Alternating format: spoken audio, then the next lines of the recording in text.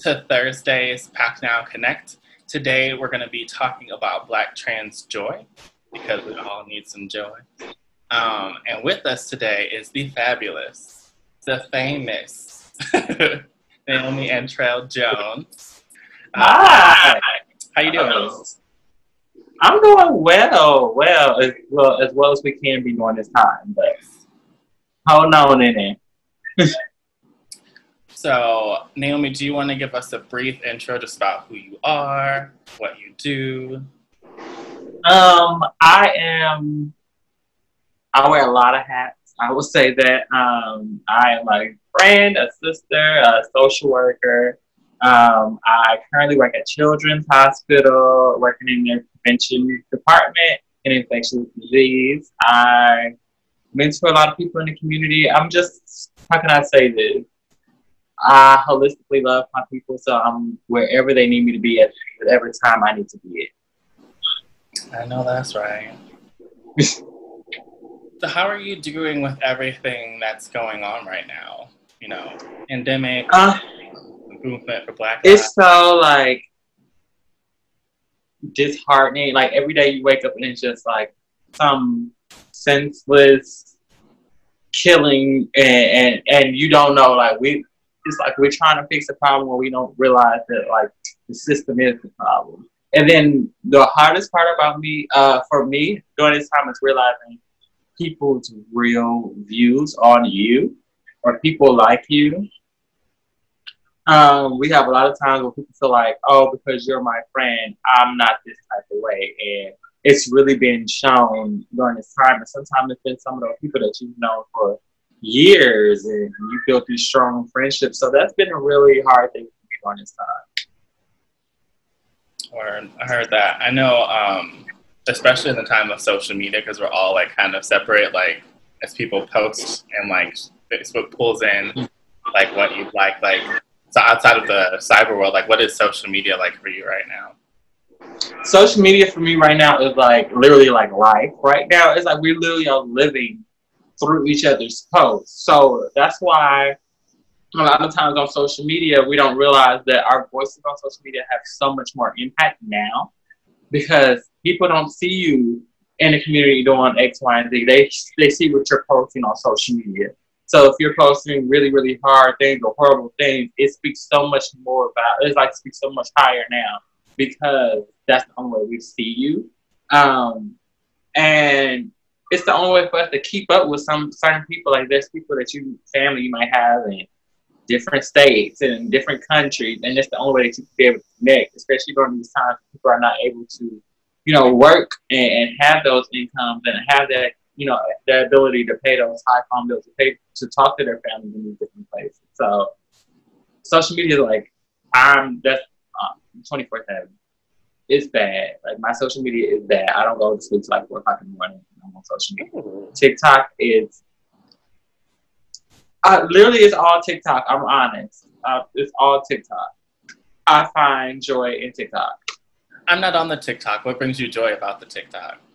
Um, there's funny videos. There's like family videos. You see couples do funny videos. It's just like it's like for those 60 seconds. It's like a 60 seconds of pure joy. There's nothing like oh, I gotta think about that. Or, Whoa, Lord, that's so smart. It's just like those 60 seconds of those videos are just like funny. Just like I can take the world off. And somehow those 60 second videos turn into six hours of videos. And yeah. I told y'all I'm still working on it. so today I thought it might be fun, um, just because your background is giving me very Vogue. Um, Mother Naomi Campbell um, behind the scenes. Of course, of course. so we're going to play um, a little bit of a, a brief, a lot of abbreviated uh, game of Vogue 73 questions. So um, we're going to talk a lot about joy, but we'll have some fun questions kind of mixed in there um, just to keep it fresh. So you cool with that? Okay, I'm down. So let's just start with like why we're all here today. What is joy to Naomi? Joy to Naomi is unapologetically happy. It's it, it's you know a it's a mood, it's a vibe, it's a nothing's gonna ruin today. It's it's taking those little moments of like finding something happy in those little moments. So if it's you eating ice cream, it's like this is my favorite ice cream, and I'm going to enjoy this ice cream when I have this moment. Joy is literally taking that time to appreciate where you are, where you've been, and just be happy in it. And sometimes that's a mess, but be happy in that mess because it's your mess, and you're gonna build yourself out of this mess. But finding something to be happy about, and just being unapologetically happy about it. And why is joy important to you as a black trans woman? You have to, and I and I can go beyond just being trans or being black and trans. It you have to find joy in this life, or because you will find yourself in these deep, dark places. And being black and trans, there's so many things that's against you: law enforcement, healthcare system, um, people in our own community are killing trans women at alarming rates.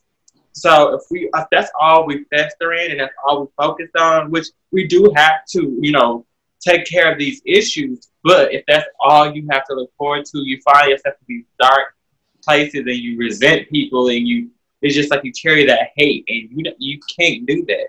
You don't want to do that. So I, I, I have to find joy in something. I have to find joy in my everyday because I got to find something to keep me going. You have to keep refilling your cup. Mm, I like that. Keep refilling your cup. Um, that kind of brings to my next question is like, what impact can self care have on self sustainability, like being black and queer and trans in America? Can you repeat that one time? Your phone kind of broke out. Um, what impact can radical self care and joy um, have on self sustainability living black and trans and queer in America? Can you hear me? Yeah. So being trans and being a black trans person, it's like, especially where the world is right now, we're being attacked on all this. We in, we're in every one of those communities. We're part of the community that's being attacked because we're trans. We're part of the community that's being attacked because we're black. We are we have been thrown into men's prison and brutalized for years. No one just talked about. It. So in those times when you're facing all those things, and that's what we wake up to every day, you have to find things for you that just takes your mind off of it. Whether it's you going for a run, whether you're painting, you going for a walk. Um, it, you have to take your mind off all these issues because they're constantly happening. Every day we wake up, there's someone else who's died, or there's another trans woman gone missing, or there's another, and you don't know if it could be you you don't know if it could you you never know. So in those moments where you're able to breathe, you have to find a way to. Absolutely. Describe your joy in a hashtag. My joy in a hashtag is a Birkin bag. No. no, my joy actually for me, I am a very as well me and Matthew know, like I love to cook and like cook for my friends and we talk and we drink wine and things like that. That's one of the other things I missed so much before COVID. So for me, like joy for me is like I just enjoying that time with the people that love me the most, who genuinely love me. Um, for my crazy, funny, lovable, sometimes off the wall stuff, like those times I get to have those and you know reflect back on old times, things like that. Those that's joy to me. Mm. Okay, it's like hashtag community, hashtag Birkin bag community. yeah, Birkin, Birkin in the community. Okay. Hashtag, hashtag that. I own the rights to it. I'm gonna call my lawyer too. so, if what's your wake up ritual these days? You said what? What's your wake up ritual these days? My wake up ritual. Um, so I wake up around like six o'clock in the morning. Mm. I watch reruns of TD Jakes, um, either TD Jakes or um, some um, Karen Clark Sheard, just to get me then in the morning. Uh, we start our meetings at eight, so I'm like, I, I, I get myself in the zone, and then I get ready for my first Zoom call or my first, you know, things like that. But just that centering myself and hearing. Um, I know everybody has their different like religious, you know, thoughts and who they believe and things like that. But for me, that stuff that helps me center myself. It's just like hearing and, and just taking it in, and yeah. Okay. So that's my mornings. I like it. I'm gonna circle back because I kind of jumped ahead, uh, but I wanted to continue off of your last answer um, when you talked about the things you miss um, because of COVID. So you talked about like having dinner and like wine with friends. How are you supplementing that connection during this time? Um, FaceTime has become well. My phone overall has has become very important in my life right now. Um, just because like now it's more of I'm not having dinner, but we're gonna have drink wine over the phone while I'll tell you about these crazy people I have to deal with today. Or I have to, you know, you tell me about what happened to you today, X, Y, and Z. I mean, that's what my life has become. It's not the same, but it's getting us through. Um, yeah, but I still miss cooking. I miss cooking big meals. I, I cook a lot of food. You too. I miss it too. You know, I could use. I bet. I bet. it was always the first one there.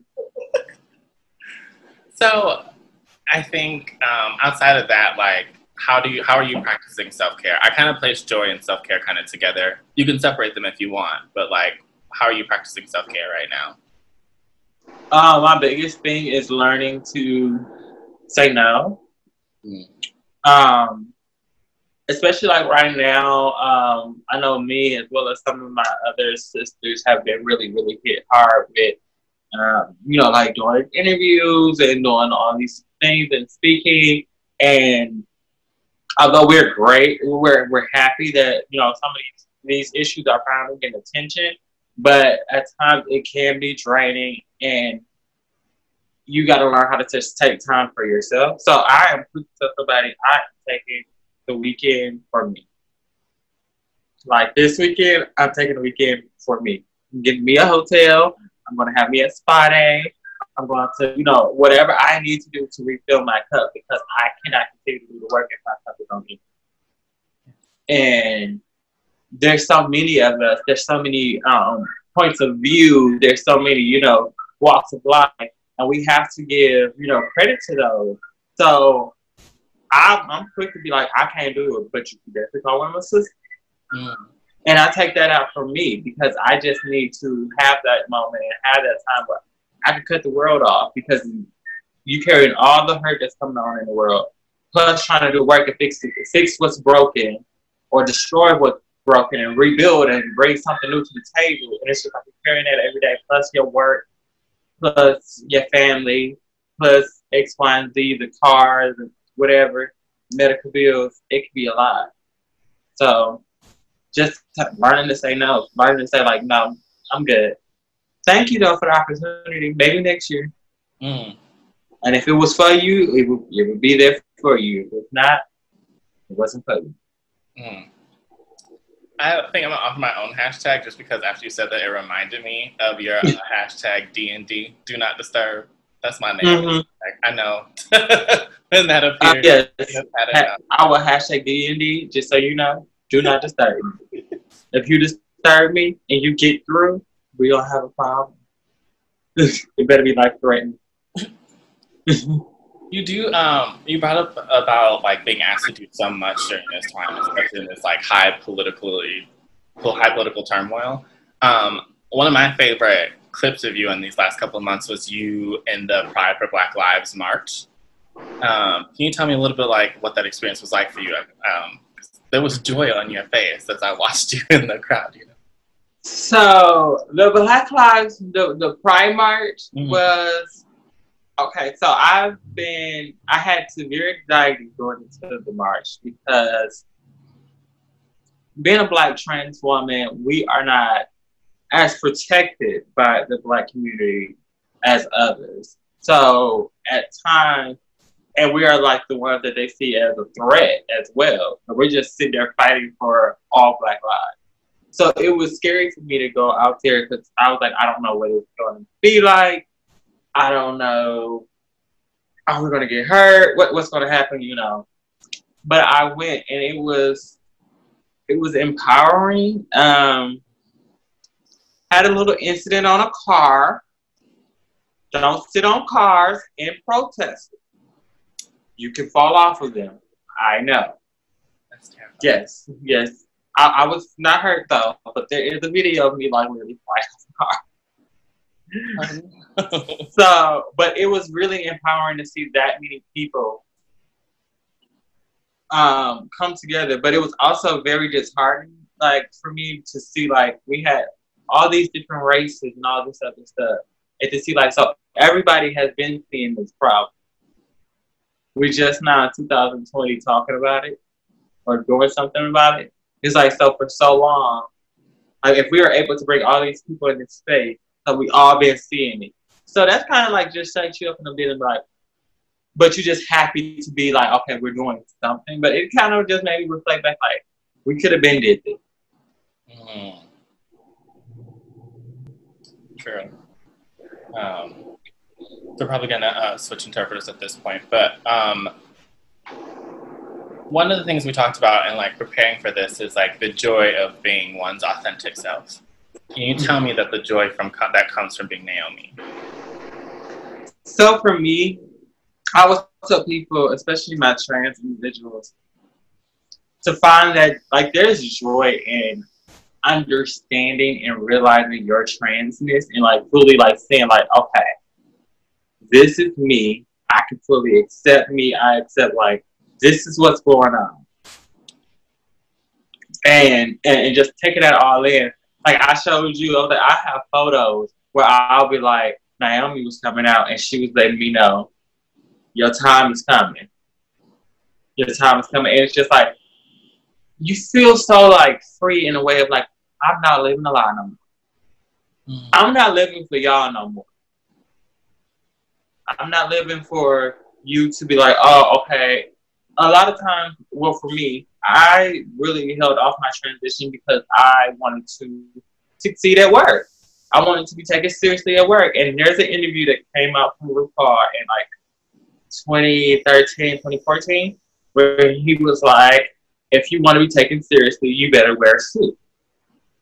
And this was like in the midst of me in college and everything like that. And I was just thinking like, that's true. I never seen a trans person in a business, you know, field or, you know, doing a successful job. So I wanted to make sure that if I when I if and when I did transition that I could be comfortable enough to actually use what I went to college for and, you know, have a job and be able to maintain my own lifestyle. But that's that's a harsh reality. And so when you are able to do that, it's it's this beautiful thing of being able to realize like I can be my authentic self. I don't have to lie to nobody.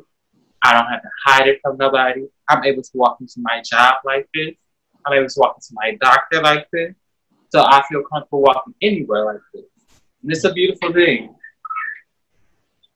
I love that. I really love that. Um, you are also, and part of the reason for my background is you are a house mother.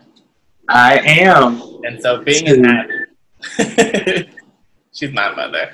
Um, but yes. to, yes. Um, that sense of authenticity, how do you uh, share that with your house children? So for my house kids, I honestly, I'm just gonna put it out there, have the best house children, but that's just I'm just, I'm just saying.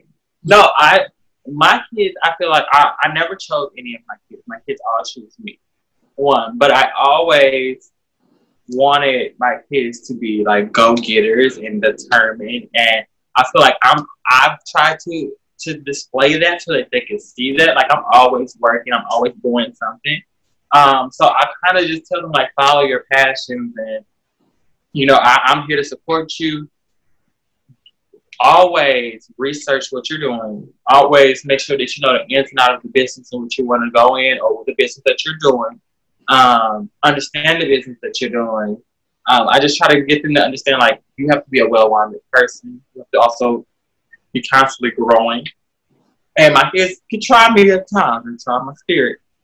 Oh, they will try me, but I try to instill in them like you have to be. I want you to be successful beyond me and beyond ballroom, beyond all of that. I love my like I said, I love my kids beyond ballroom. I don't care about your trophies. I want to know that you are able to succeed in a career and, and be able to afford your lifestyle. And you know, although that's where we come from, and ballroom really big in our community, and I, you know, we all, you know, that's something that we pay homage to.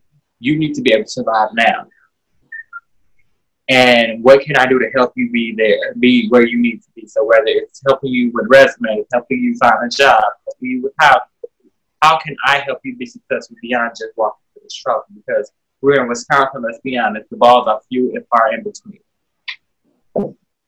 That's true. I'm not the nicest, but I'm fair. That's interesting. I, um, what is the greatest joy that comes from being a house mother? Um,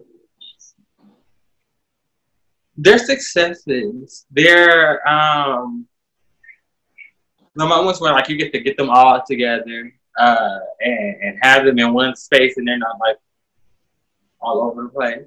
Um, but seeing like how far they come and you know what what what they have planned for the future and seeing them like work towards those things and just being true to themselves. So even if they like, you know, they're a goofy one and X, Y, and Z, they didn't change it up. Where they still being their authentic themselves, but they're moving towards something. They're succeeding. Like seeing my kids succeed. Every time I see a good post, every time I see something good, they text me. I'm like in tears.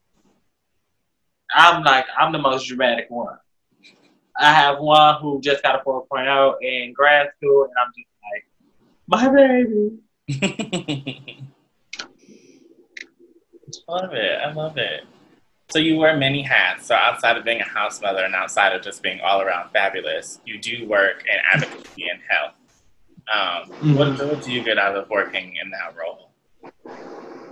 Um, my biggest thing for me, um, I understand that in it needs to be understood that black and brown people have suffered generational like generational curses of medical mistrust. So my biggest thing for me is working with black and brown individuals to get them linked into health care so that we can learn to not only go to the doctor and we can live healthier lives, but talk to doctors in a language that we understand them and they understand us. Um, so many times we go to the doctor and we um we go to the doctor and they tell us something and we don't even know what they were talking about. Or we don't ask the questions or we feel like we don't know how to ask the questions or the doctor's talking over our heads and things like that. There's so many people who don't have insurance because they don't even understand how to sign up for insurance. Um, and those were big things that like were alarming to me because talking to someone and be like, oh, so what's your insurance company? And they're like, I don't know, or I don't have insurance. It's really, really alarming to me. And when it comes to working with youth, I feel that this is something that we need to start teaching our youth at an earlier age. How to navigate healthcare system, um, how to understand that you are a customer when you go to the doctor, and you need to leave there with adequate care. If you feel like you're being mistreated, then you need to report that things need to happen, things need to change. Um, and you have the power to do that, and you have the power to, you know, understand that you're, you're the paying customer, and this is your health care. So that's my biggest my biggest mission with my work is just getting people linked into healthcare, understanding that you are in control of your health, and the only way for us to live these longer lives and to push, you know, and all these different things, we have to make sure that we're in tune with our doctors and we need to start pushing for more black and brown doctors. Less than 6% of doctors in the United States are black. So there is rare that we will see a doctor that looks like us who are actually doing eye care. So both of those were big, my big thing, like navigating for black and brown people to be accepted and brought into these these doctoral programs and these uh, medical programs because we need them. We need doctors to speak our language from our neighborhood. Who inspires you? Um, I have a lot of inspiration. My mother is one of my biggest inspirations. Um, a lot of the women in my family, I come so the Joneses is all women. my aunt had like seven girls. Like it's like all women. So I was raised by a lot of strong black women, um, and they all like push me in ways. Like I come from, I have cousins who are like VPs and you know highly educated women, so they always push me, and I always think like that's how black women carry themselves. Um, they're not, they're they don't have attitudes. They just have zest. They they have a little spice to them. You you, you gotta you you're gonna get a full you're gonna get a full mouthful of flavors when you go with a black woman. So they are my biggest inspiration. My mom, my cousins, my aunts. They they they they come from all different fields. Um, but, and Beyonce, of course, because how can you not? How can you not? How just can you not? how can you not? Angela Bassett is a big one for me. Um, and black, I gotta pick one, like one last one, Viola Davis. Mm. It's just they they just walk with such grace and such strength. Yeah. Mm. That's a good list. I have to ask what's your favorite Beyonce album. Uh, okay, so it possibly would have to be four. Okay. I like four. Um, I like the tempo of four. I feel like it. It was where my life was at the time. It fit my life so perfectly in that time, mm-hmm. and it's so rare that we find albums like that. Even if there's not like your favorite artist, it's like some somebody. Sometimes they have like this album that just fit everything you was going through in your life at that time. You might not like know of the music, but four just was it fit. That's a good one. That's always a question that I sometimes have to judge people pass the test. So it's totally mm. fine. Um, what songs uh, do you sing or listen to when you're looking to find joy, or artists? When I'm looking to what? Uh, to find joy or to like oh. in your joy. Um. Okay. So Beyonce. Um. outside of Beyonce, we have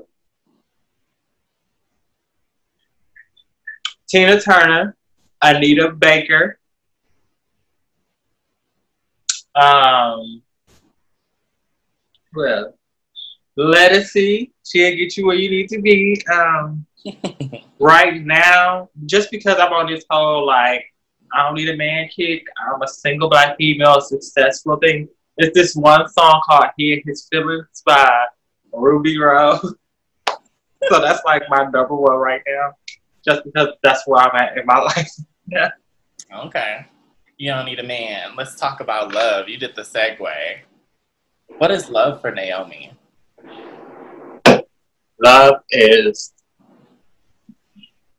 loving someone unapologetically for themselves um, so rather that is, I love this person because they they snore like crazy, but I love them. Or um, and and love looks looks different. You can love people from a distance. Love, I feel like love is something I can give everybody. And I and that's one thing I love about love is that I don't have to be best friends with somebody for me to love you or for me to wish you well or for me to you know, be praying for you. It's you just a person.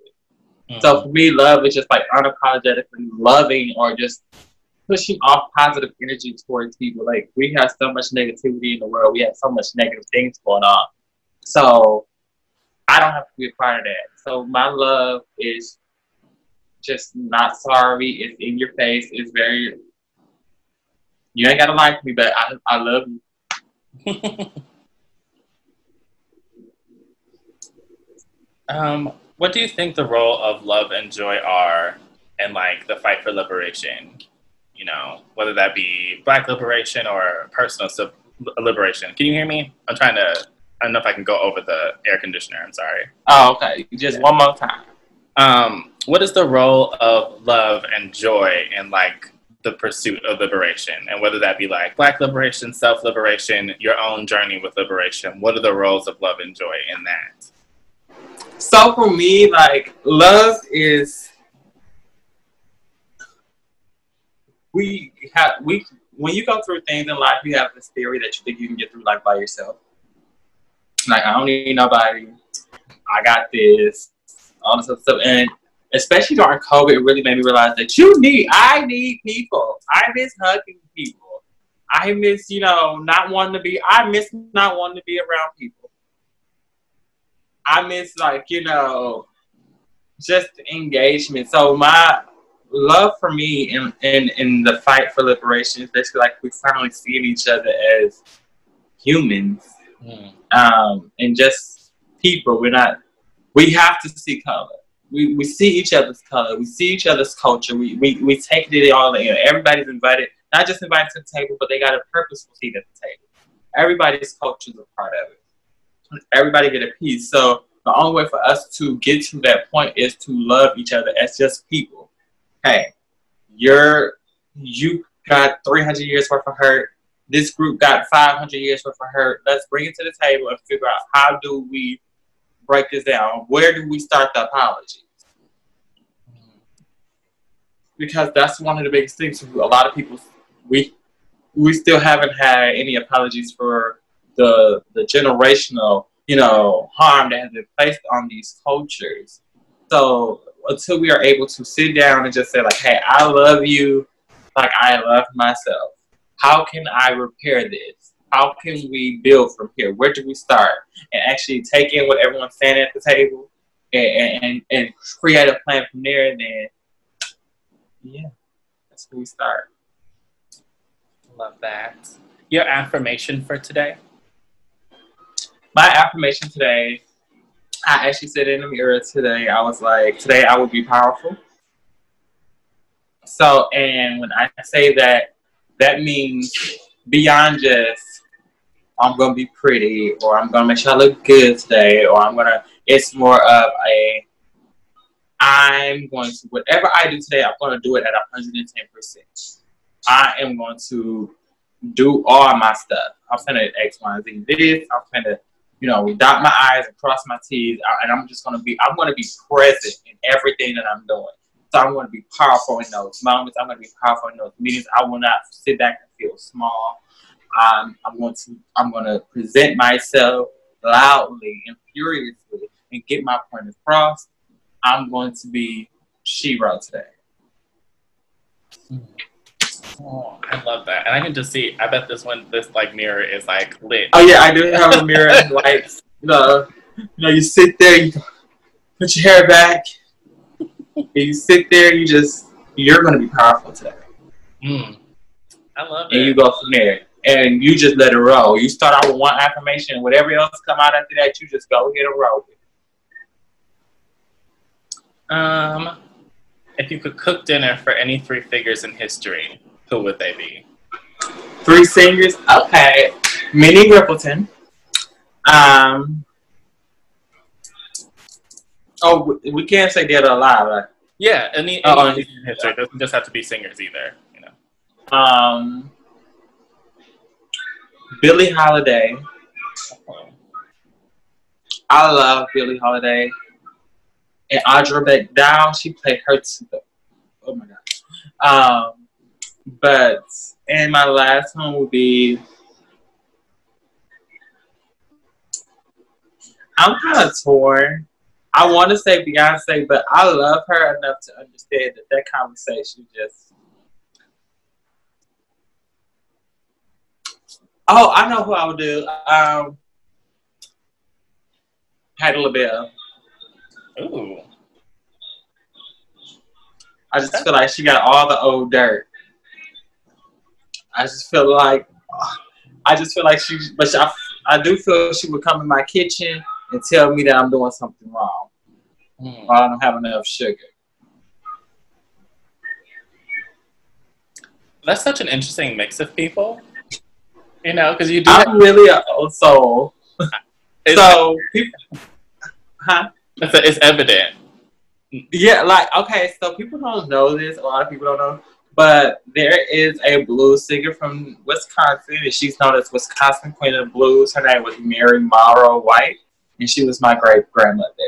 And so she uh, like she has two proclamations, two st- two days in Wisconsin that's named after her. Um, and well, she's you know she's still alive, but like we were raised listening to her music. So and she was like she would go on do tours and things like that. So that was really part of my upbringing. So I'm used to listening to like a lot of Etta James and um, she has a song like Lou Rawls and things like that. So yeah. That's so cool. I did not know that about you.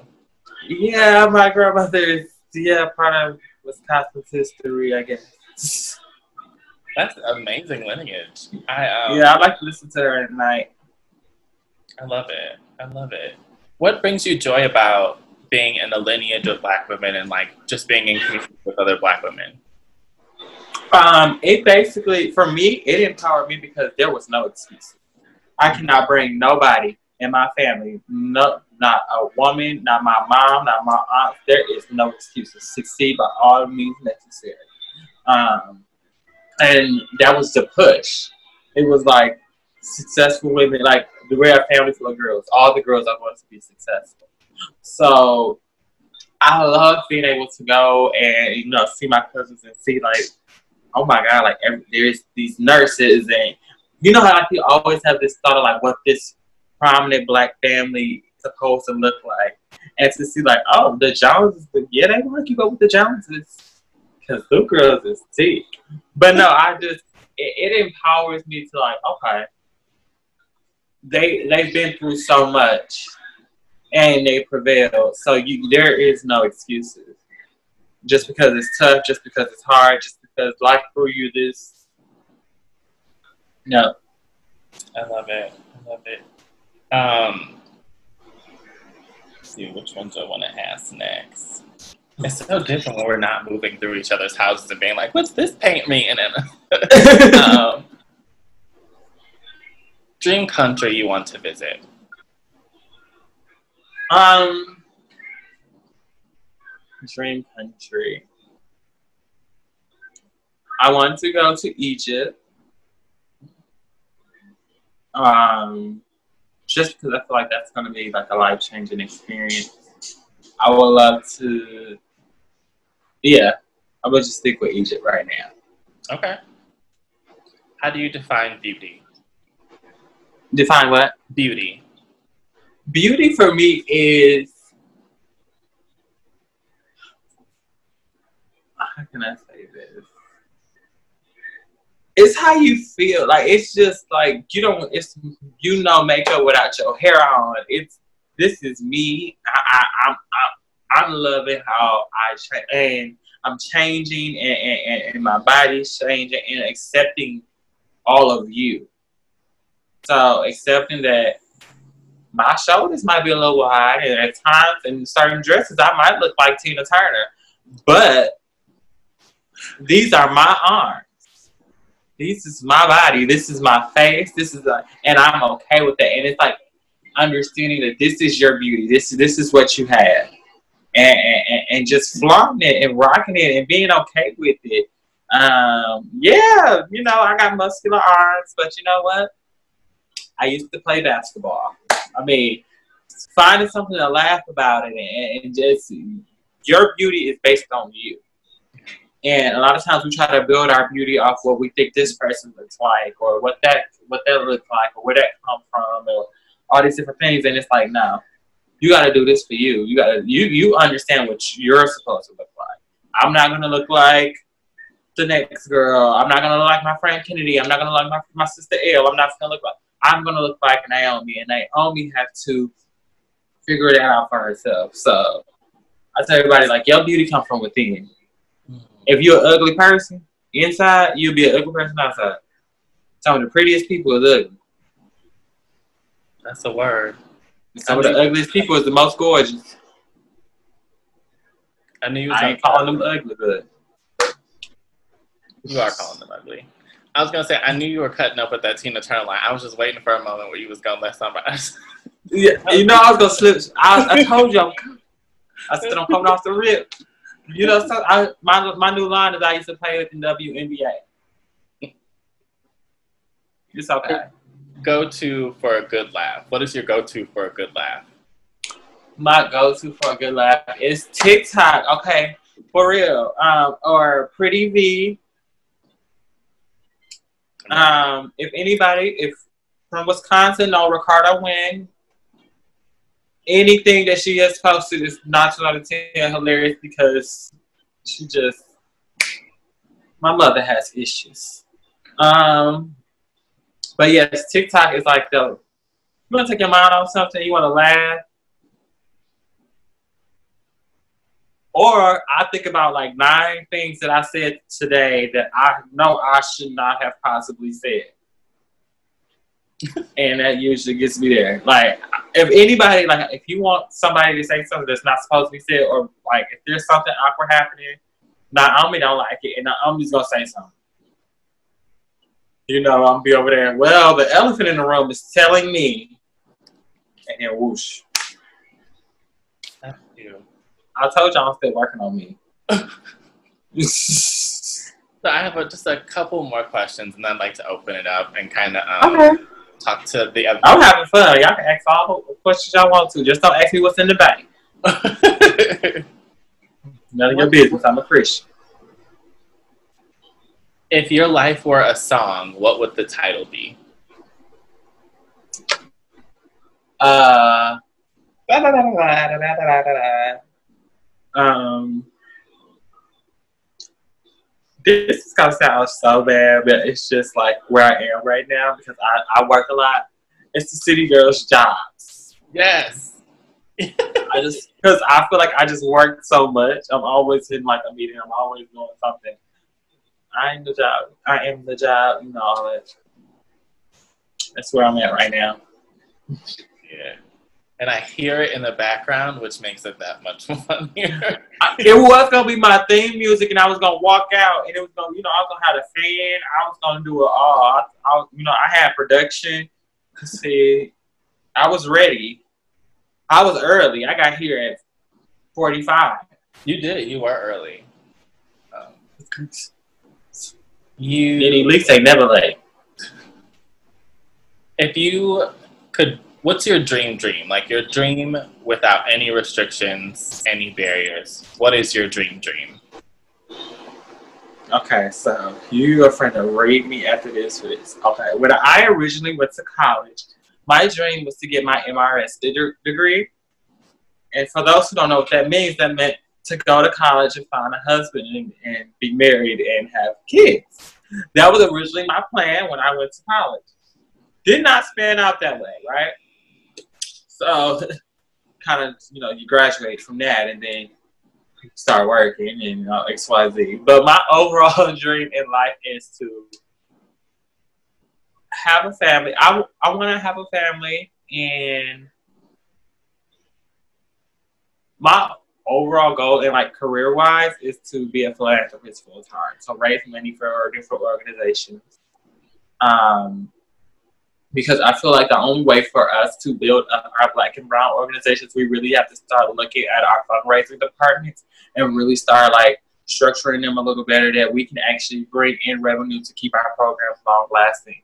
So many black and brown started organizations go under because they only solely depend on governmental funding and they don't look at any other funding beyond that. And we lose so much of our grants change every day and programs change. So we lose staff and people lose their jobs and, and programs and, and things like that. And I would like to work with organizations specifically around like creating other levels of income that they're able to sustain if those things were to happen.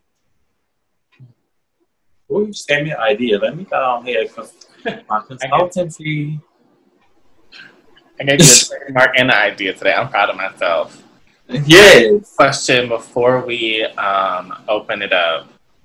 How do you know when you're feeling joy? What does it feel like to you?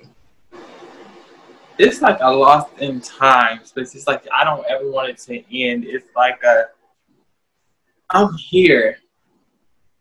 I'm here. Like I'm here in this moment. I'm here in this space. I'm here in this time. I'm here in whatever here looks like for you. But for me, it's really taking in that moment and understanding like this is happiness. Even if this happiness only lasts for like three minutes, three seconds, you had a moment of something beautiful.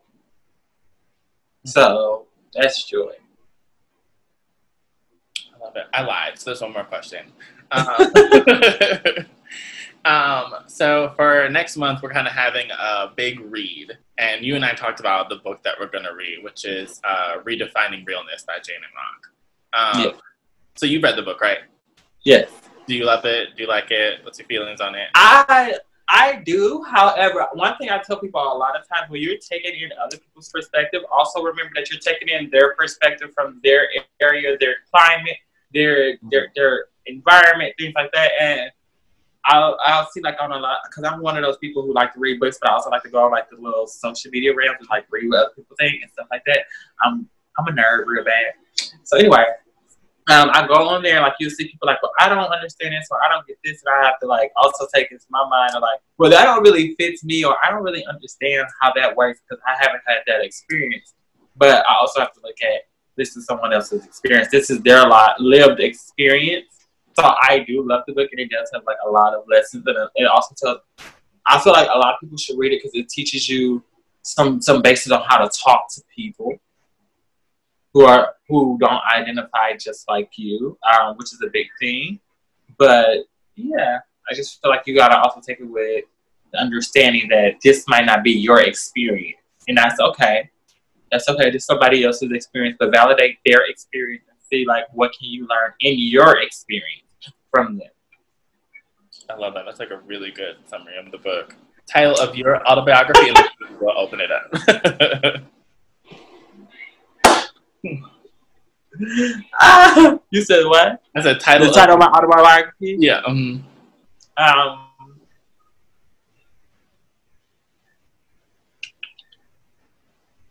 Uh, I was going to say something, but it was going to be very inappropriate, so I'm not going to say that. Um, we want to be back on the air. No. um, I would say I am. Ooh. Because I feel like if I was to write an autobiography about myself, I would have to break down all the different hats and statues of my life. And um, I am so many different things. And I feel like that phrase just encompasses all of that. What's the probably trying to get me in trouble? Did you see that? Uh-uh.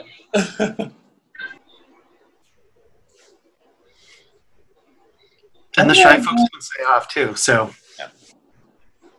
No, it's fine. Um, I just wanted to bring it in to see, you know, if folks who were watching had any questions they wanted to add to the conversation. Um, this is Black and Brown Trans Joy, but obviously we're all in the shared space together to learn and be in joy with each other. So. I had one question to, to get us rolling a little bit. So, um, a lot of times in trans communities and in black and brown communities, we talk about representation. And I'm curious, uh, Naomi, where or if you find joy in any kind of representation that's currently in our world. Um, I feel that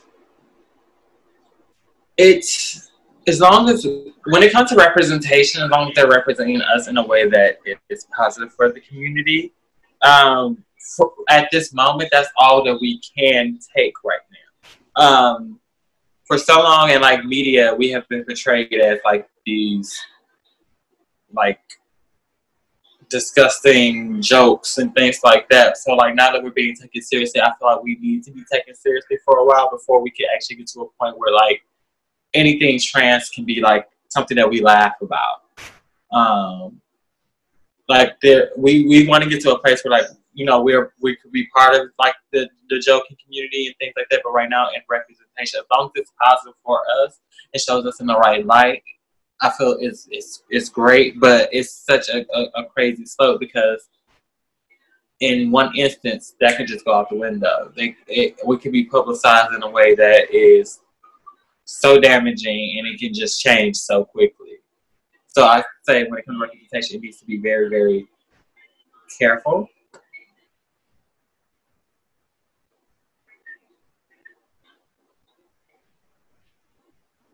I seen a question at the bottom. I can't see.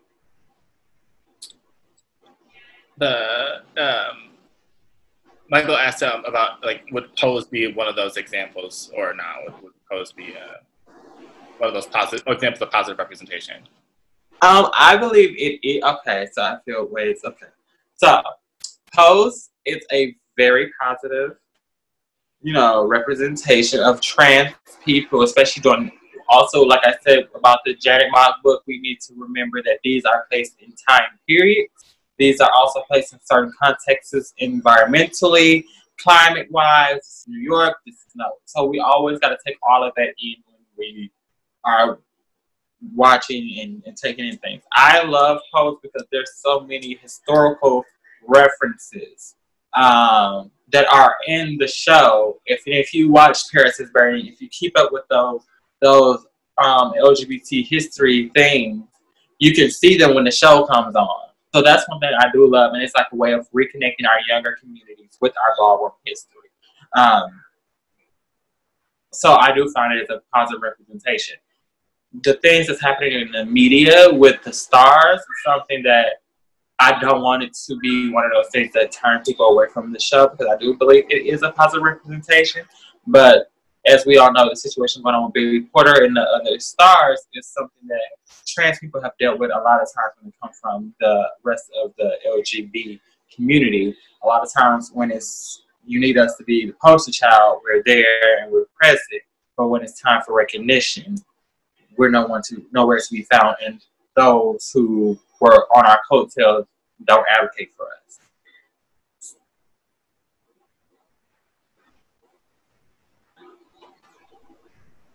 This is Matthew. Naomi, do you think there does there exist about like a narrative about being black and trans in the Midwest or in Milwaukee specifically?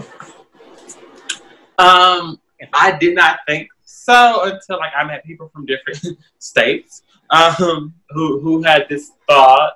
Um, well, a lot of people at for some reason think that there's no black people in Wisconsin. That's one. Mm-hmm. That's the biggest one.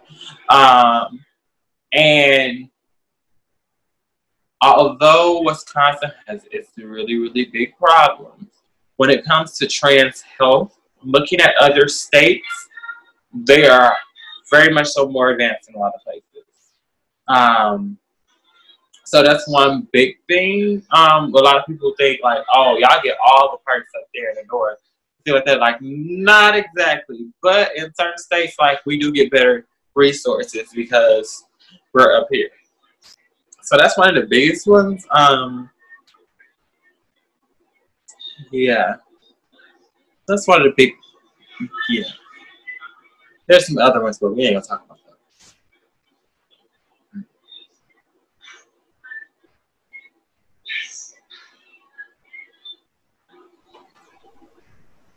This is Matthew. Naomi, do you think there does there exist about like a narrative about being black and trans in the Midwest or in Milwaukee specifically?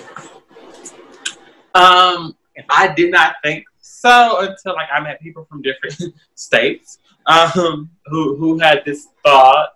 Um, well, a lot of people at for some reason think that there's no black people in Wisconsin. That's one. Mm-hmm. That's the biggest one.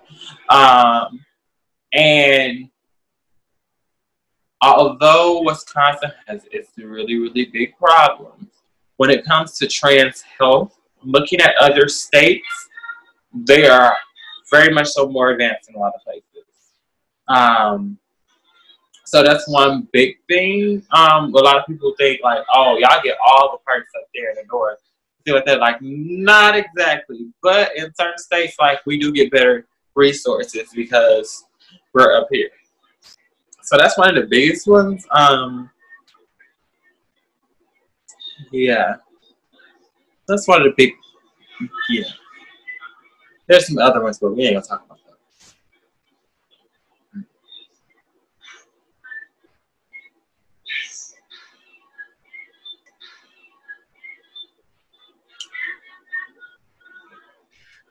So as, as people are still thinking of, of conversational um, topics, I had another question around. Um, I think that you know, kind of like what you were saying. Like, I think a lot of times people don't think of Milwaukee or as Wisconsin as um, a place where there's a ball scene, mm-hmm. and I'm wondering if you could talk a little bit about like what Milwaukee or Wisconsin's ball scene is like, maybe compared to other parts of the country. What's the history? How long has it been around? I mean, any of those pieces that you may know or may know of that um, you're willing to share with folks. Um, so Wisconsin's ballroom history, it's starting to get its life back. For for several years, it had become non-existent. But Wisconsin history, uh, ballroom history goes back a while. Like we have um, one of the first major houses in Wisconsin was the House of Kennedy, and this was like in the early 2000s. Um, and these people who founded these houses and, started, which House of Infinity was an organization, um, and did a lot of work working with the state of Wisconsin. Um, were founded by SGL men, and these men are still present in Milwaukee's community, they still work heavily in Milwaukee's community. Um, the House of the Mirror um, was another big one, and the person, um, people who founded those houses still work heavily in this community. Um, it just became it. There were so many things that was going on during the time, like around like 2013 to 2000, like 17, 18 that it kind of just pushed people away from ballroom. It didn't even become a focus for a while. Um, and that's another reason why I am kind of I am happy about Pose because with it being gone for so for so many years, um, our young community didn't know about it. So they were able to give some knowledge about it and actually like help us rebirth this this whole this whole community of ballroom and, and, and want to create the ball and want to learn the history and things like that.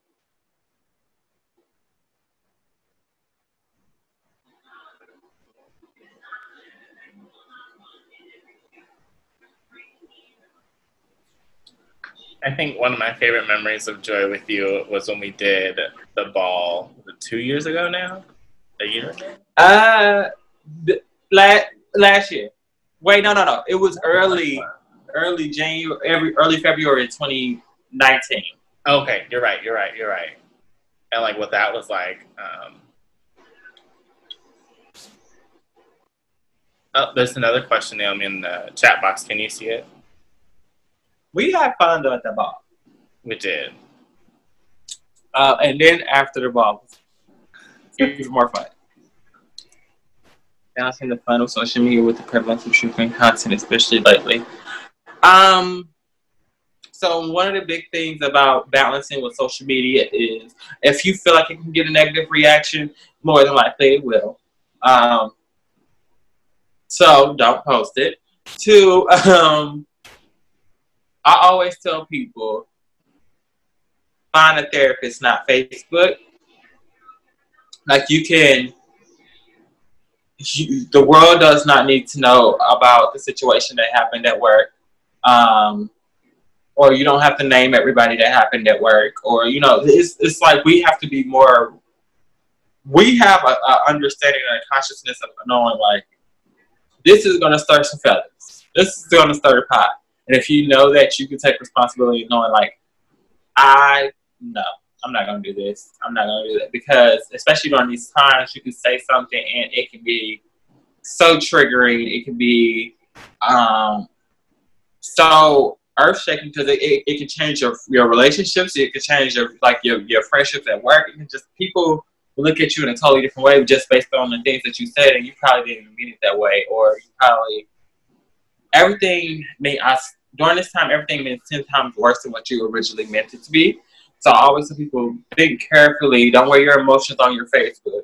Um, unless it's like something, you know, very simple, something soft. But yeah, find a therapist, not Facebook. It'll save you a lot of time.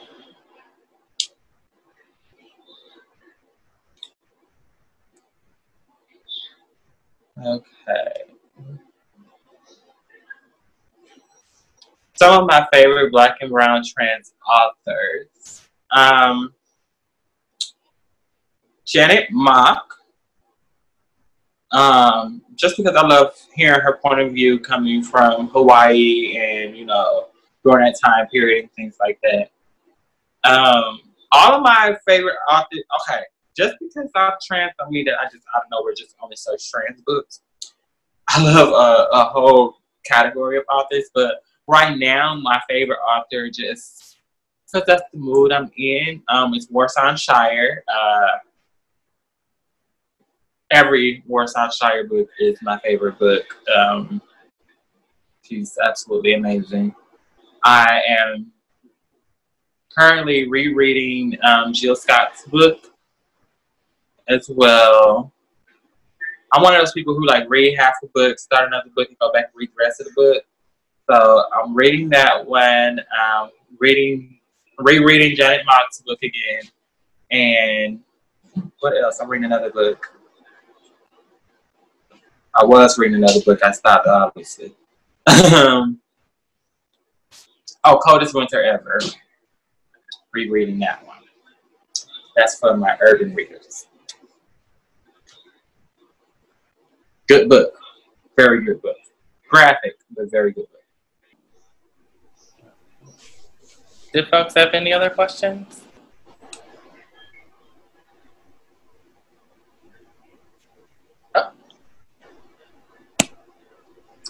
Um, with joy. Um, no, my relationships with joy have shifted often. Um, what made you happy at 20 don't make you happy at 27. What made you happy at 21 is not gonna make you happy at 30. I feel like joy is joy is not complacent. It's always growing and evolving. And like I said, like the things that made you happy before don't make you happy anymore. I feel like finding joy is that that understanding of I will continuously have to figure out what makes me happy. And when it doesn't make me happy, find what makes me happy because I want to be happy. Um, and that's just that for me, we have these ideas like this is we want to feel like what we felt like when we were 16 and it ain't gonna happen. But joy for me is continuously knowing that what I what I liked at 20 is gonna evolve at 27 and, and I need to be evolving with that. If I'm not evolving in the same things that I'm liking that I liked when I was two years ago, that's problematic.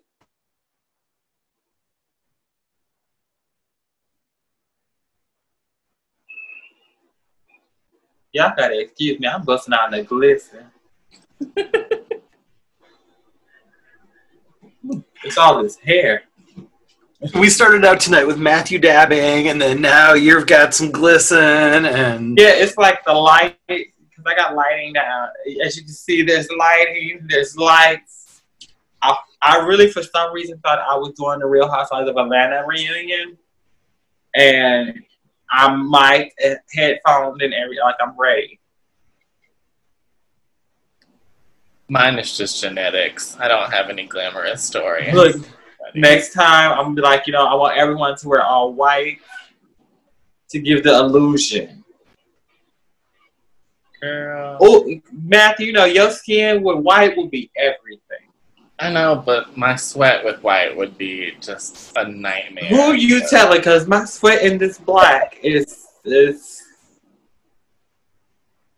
You have to also remember, you know, hormones send you through menopause, and um, whew, it's just getting hotter and hotter. About to say. Thank you, girl.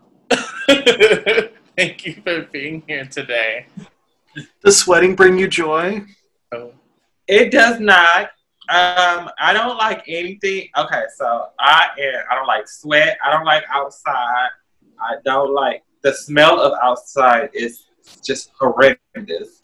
Um, and if you think there's no smell of that outside doesn't smell of anything, something's wrong with you. Outside has a smell.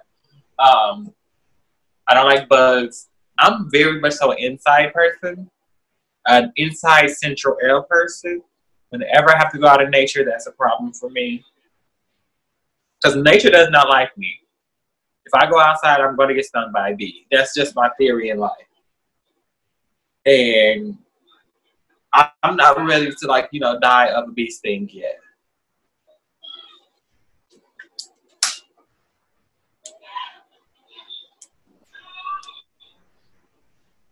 Are there any last questions or comments? Oh. If there are not. Huh? Oh, if there are no other questions or comments, we should do a go around of gratitude. Um, if folks would like, can you give me a thumbs up if that's something you'd be interested in? Yeah. Okay.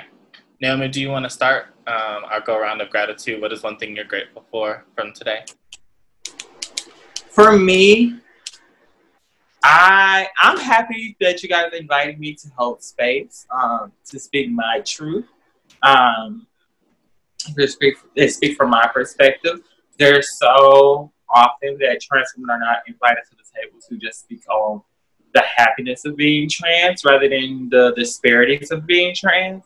So I thank you, and I am internally grateful for this opportunity to be able to sit here with you all and you know sit here and, and, take it all of Matthew's you know black boy joy and all of this just it, it, it means a lot for me. Thank you.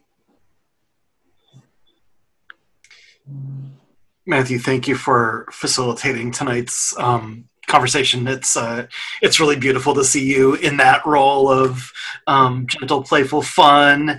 Um, not that I don't see you in that. And and Naomi, you are like freaking contagious in your your positiveness and um, you know you said you were an old soul and i was like you're an old soul soul with puppy energy. So like i just like i have been smiling this whole time because it just like i just feel Oh, it you know, out in the world and um, it's really really beautiful. So thank you for for being you and and sharing. Thank you.